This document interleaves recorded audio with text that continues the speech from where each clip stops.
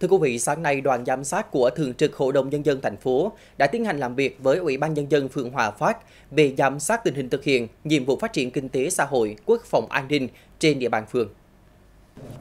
9 tháng đầu năm nay, các chỉ tiêu kinh tế xã hội trên địa bàn phường Hòa Phát đạt nhiều kết quả khả quan, tỷ lệ thu ngân sách đạt 77%.